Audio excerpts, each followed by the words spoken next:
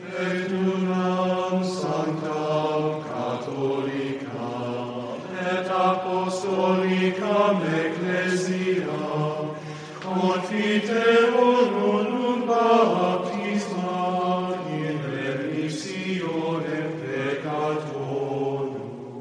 Welcome to the Catholic Retrospective Podcast. This is Father Peter Mangum. I did not mention in last week's episode, so allow me this opportunity to reiterate that the primary goal, the purpose, and the hope of the Protestant Reformation was, of course, to reform the church Christ founded, to ensure that all were obeying the will of Christ.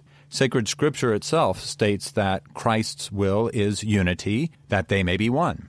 We are one family with one Heavenly Father. So, we can say that our disunities come from our own will, not His will. We fervently pray for Christian unity. In fact, I'll continue to use these podcasts as an opportunity to introduce some extraordinarily beautiful prayers straight from the Roman Missal for Masses dedicated to Christian unity. Today, this is podcast number six The Problem of Sacred Scripture Alone, Sola Scriptura. As with the entire series, this is being offered with great hope and prayer for a full restoration of our previous unity. As a follow up to last week's podcast regarding the Catholic response to Martin Luther, let's explore more of the challenge posed by Luther's insistence that the ultimate authority for the Church rested with Holy Scripture alone, or what is known as sola scriptura, a maxim and theory, by the way, which is itself not scriptural. This notion holds that Scripture itself interprets Scripture, and that therefore it alone is sufficient for defining true doctrine. Martin Luther once wrote, A simple layman armed with Scripture is greater than the mightiest pope without it. Well, any Catholic would say the same today. This statement illustrates the grievances of Protestant thinkers who, in many ways, were reacting to the abuses of practice they saw at the highest levels of the late medieval church. Confronting human corruption in the church might have driven these thinkers to seek out alternative sources of authority, but resulted in a rejection of the church's divine origin, organization, and source of teaching. As pointed out last week, Protestantism was defined from its beginning by division and disagreement. As soon as the test for true doctrine began to be one man's interpretation of Holy Scripture and not the teaching authority of the one holy Catholic and Apostolic Church, more and more splintering of the initial movement occurred, while the Catholic Church remained one, purifying herself from within just consider the Council of Trent.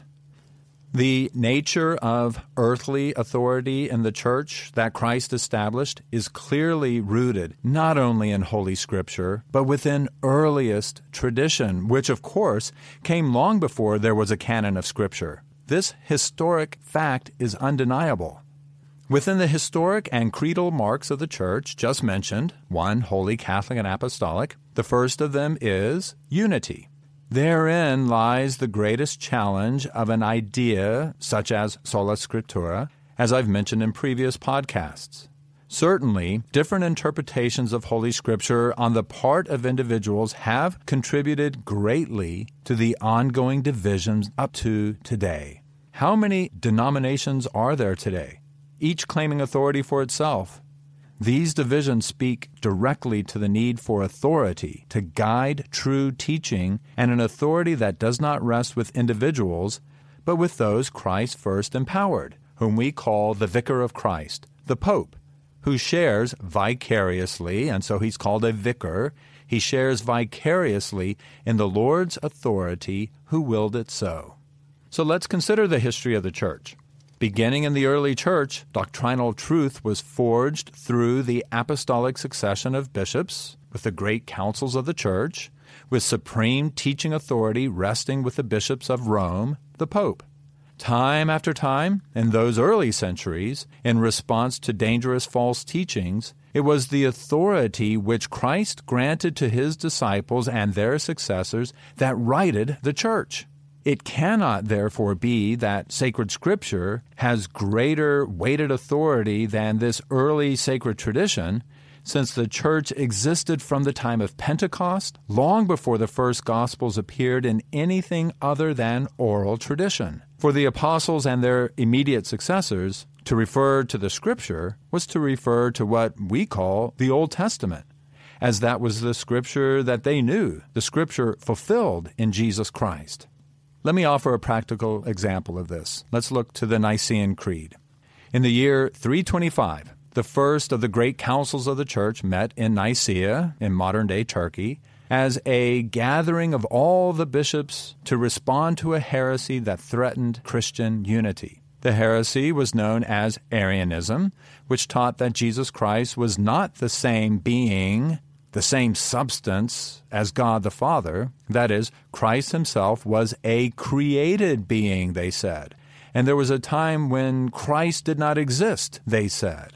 It was not the weight of the words of Holy Scripture that alone settled the issue that challenged the very nature of Jesus Christ and his relationship to God the Father and the Holy Spirit. Instead, what happened?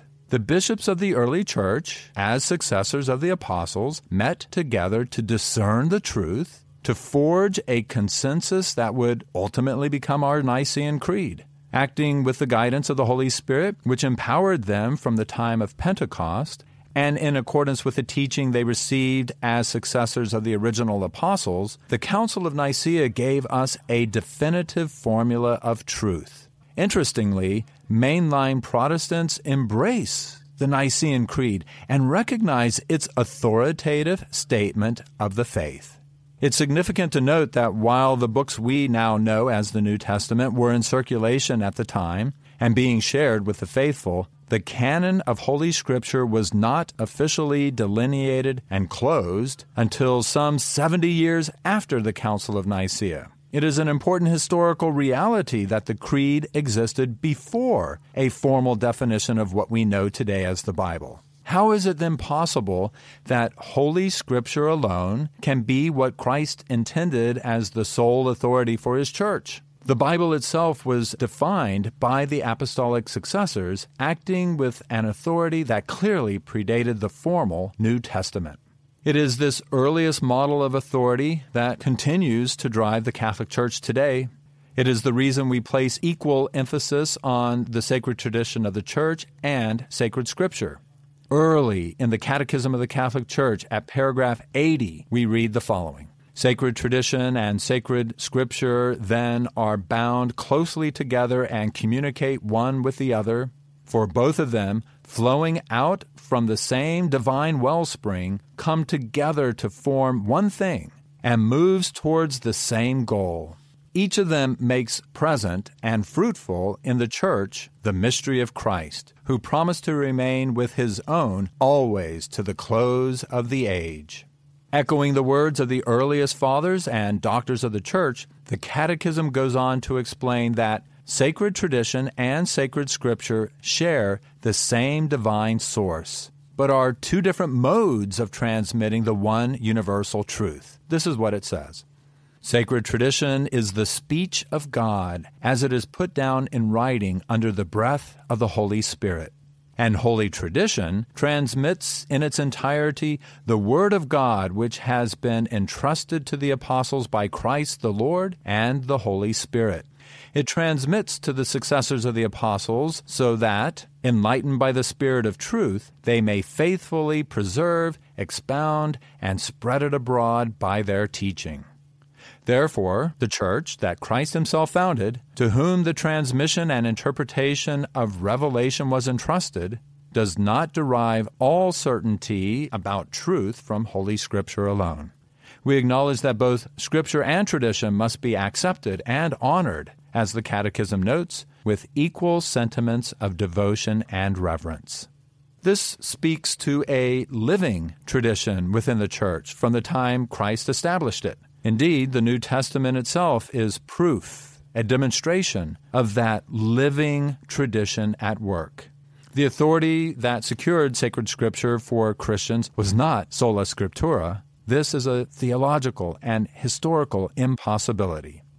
In an interesting irony of history, Martin Luther tried to remove several books from the canon of Holy Scripture in the printing of his 1534 German translation of the Bible. In the end, he placed the historical books of Hebrews and James, along with the letters of St. John and Revelation of St. John, in an appendix, out of their traditional and canonical order of nearly 1200 years. By what authority was Luther's reordering of Holy Scripture done? The Protestant shift away from the teaching authority Christ gave to his apostles and successors has produced fruits of division and separation, with Christians distanced from each other. True unity, as expressed in the seamless garment of Christ's own crucifixion, cannot exist apart from the life giving sacramental grace flowing from the authority of the one holy Catholic and Apostolic Church.